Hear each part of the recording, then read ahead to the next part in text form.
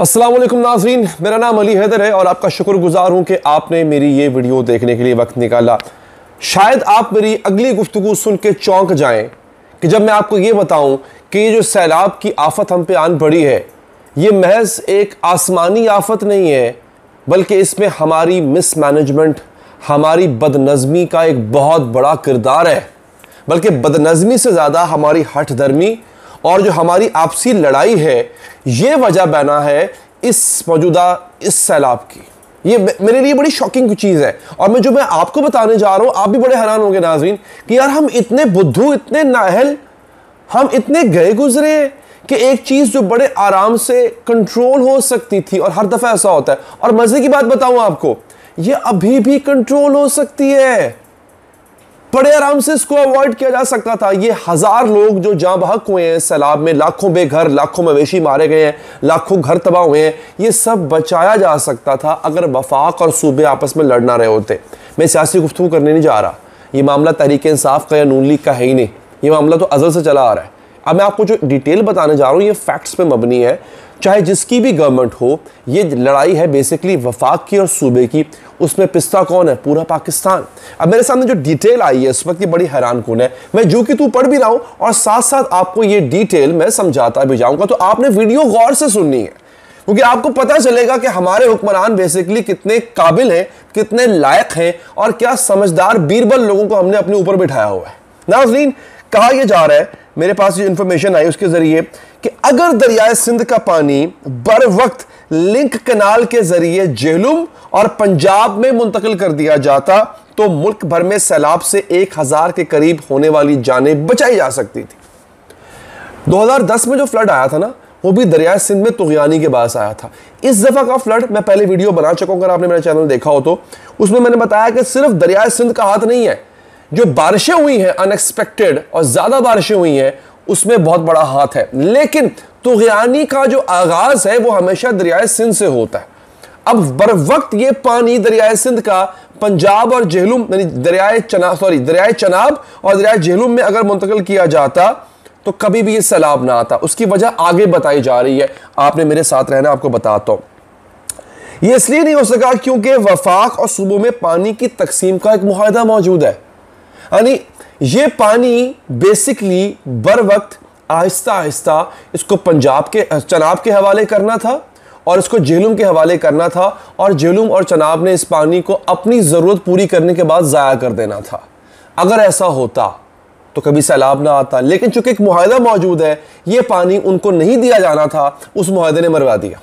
आगे सुने पाकिस्तान में सैलाब से एक हज़ार से ज़्यादा हलाकतों और करोड़ों अफराद को बेघर से होने से बचाना बड़ा आसान था, बचाया जा सकता था। अगर ये दरियाए सिंध पर वफाक और सूबे में लड़ाई ना होती और ये बड़ी शदीद लड़ाई है नाजरीन, क्या भला? सिंध का सैलाबी पानी लिंक कनाल के ज़रिए जेलुम चनाब में सही वक्त पर मुंतकिल कर दिया जाता। ऐसा क्यों ना हो सका? और अब भी नहीं हो रहा, क्या यह सैलाब सिर्फ़ खुदाई आफत था या इसकी काफ़ी तबाही बचाई जा सकती थी? कहा यह जा रहा है कि यह मुमकिन था और अब भी है।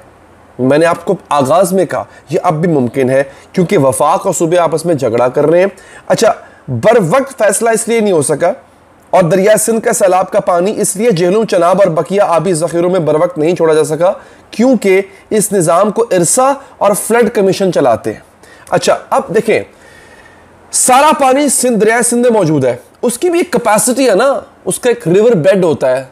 हर हर उसका, उसकी कैपेसिटी है। वो रिवर बेड फुल हो गया ना, वो उछल गया, छलक गया। जब वो छलक गया तो वो फिर हर तरफ़ बह गया। तो हमारे पाकिस्तान का जो नहरी निज़ाम है, जिसको दुनिया का बेहतरीन नहरी निज़ाम कहा जाता है, उस नहरी निज़ाम के ज़रिए वो जो पानी जैसे जैसे बढ़ता जा रहा था, उसको आहिस्ता आहिस्ता, बाकी जो आपके आबी ज़ख़ीरे हैं, उनमें आहिस्ता आहिस्ता छोड़ा जाता, आहिस्ता आहिस्ता मुंतकिल किया जाता। क्यों? अगेन इरसा है फ्लड कमीशन है, वो करती क्या है? ये भी सुने। ये निज़ाम वफाक और सूबों के माबैन आबी मुहिदों पर मबनी है कि किस सूबे को किस वक्त किस जगह से कितना पानी मिलेगा।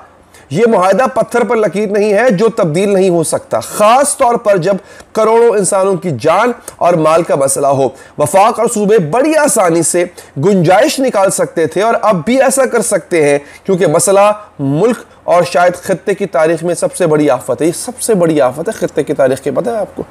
अच्छा हुआ हो, हो, हो क्या सकता था? मैं बताता हूँ आपको नाजरीन। बड़ी आसानी से हो सकता था क्योंकि वक्ती तौर पर सूबे अपने पानी के हिस्से की मांग नहीं करें। वो कहते हमें पानी नहीं चाहिए आप फ़िलहाल इसको ज़ाया करें। अभी कैसे हो सकता है? अभी भी अगर सिंध जो है वो पानी जो उसने आगे चल के सूबों को देना है उसका कुछ हिस्सा ज़ाया कर दे क्योंकि स्पिल ओवर हो रहा है हो रहा है ना स्पिल ओवर हो रहा है हर चीज़ को। जिसके बाद सिंध के सैलाब के पानी को बर वक्त छोटे दरियाओं और आबी जखीरों में मुंतकिल किया जा सकता था। सूबा सिंध को क्या एतराज़ होता? कि जब उनकी जान माल मवेशी और फ़सलें बच रही थी। ख़ास तौर पर जब वफाक और सिंध में एक ही सियासी अलायंस की हुकूमत है ये बड़ी अजीब बात है। पीपल्स पार्टी की हुकूमत सिंध में। ऊपर भी अलायंस है पीपल्स पार्टी नून लीग बकिया तेरह जमातों की हुकूमत है। तो ये सब मिल के अब सिंध को किस बात का एतराज़ होना था? सबसे ज़्यादा नुकसान तो सिंध को हुआ है। पंजाब को तो इतना हो ही नहीं है। सिंध अगर वही पानी जो उसने पंजाब को देना था, वो कुछ अरसे के लिए ना देता, वक्ती तौर पे पंजाब अगर अपने हिस्से से दस्तबरदार होता वक्ती तौर पे तो ये आफत बची जा सकती क्योंकि पानी बहुत था। ऐसा नहीं था बाद में पंजाब को पानी नहीं मिलना था। इतना पूरे पाकिस्तान में पानी पानी फैल गया यार। पानी की कमी नहीं थी हमें। कुछ हिस्सा, ये था कि, कुछ हिस्सा ज़ाया किया जाता। बारिशें तो हो ही रही थी। पानी तो ऊपर से आ ही रहा था। फिर जो हिस्सा जब हमारे पास गुंजाइश बच जाती तो फिर बाकिया हिस्सा जो है वो पंजाब को दे दिया जाता पानी का। सिर्फ़ फ़र्क ये पड़ना था कि पंजाब को चंद हफ़्ते चंद हफ़्ते भी नहीं शायद, चंद दिन पानी के लिए इंतज़ार करना पड़ना था। अगर पंजाब इंतज़ार कर लेता तो कोई इतनी बड़ी आफत नहीं आ जानी थी नाजरीन। अब जनाब, कहा यह जा रहा है कि इसको हुकूमतों की चपकलिश कहेंगे, इसको सियासी लड़ाई कहेंगे। ये बात बड़ी हैरान कन है। ये मेरे लिए भी हैरान कौन थी। हम तो यही समझ रहे थे यार कि चूँकि इस दफ़ा बारिशें ज़्यादा आ गई हैं तो हालात काबू से बाहर हो गए। हाँ उसका भी एक हिस्सा है। कुदरती आफात आती हैं और कुदरती आफात के आगे इंसान का कोई बस नहीं चलता। लेकिन इसका मतलब ये नहीं है नाजरीन कि आप कुछ करें ना, आपके आपके बस में कुछ ना हो। अल्लाह ताला ने आपको इख्तियार भी दिया है, आपको अकल भी दी है। और मैं दोबारा आपको बता रहा हूँ कि ये कहा यह जा रहा है कि दिस इज़ स्टिल पॉसिबल अभी भी ये किया जा सकता है कि पंजाब कुछ अरसा वेट कर ले, अपने पानी से थोड़ी देर के लिए। आई नो पंजाब में फ़सलें उगती हैं, लेकिन देखें ना, नुकसान तो सबका हुआ। अब जिस, जो पंजाब का जनूबी हिस्सा है, जहाँ सबसे ज़्यादा आपाशी होती है, फ़सलें उगती हैं, वो तो डूबा हुआ है इस वक्त। तो मिला तो किसी को भी कुछ नहीं, ना पंजाब को कुछ मिला, ना सिंध तो कुछ मिला। अगर आपको वीडियो पसंद आई हो लाइक कीजिएगा, चैनल को सब्सक्राइब पेज को फॉलो कीजिएगा। मुझे दीजिए इजाज़त, अल्लाह के बाद।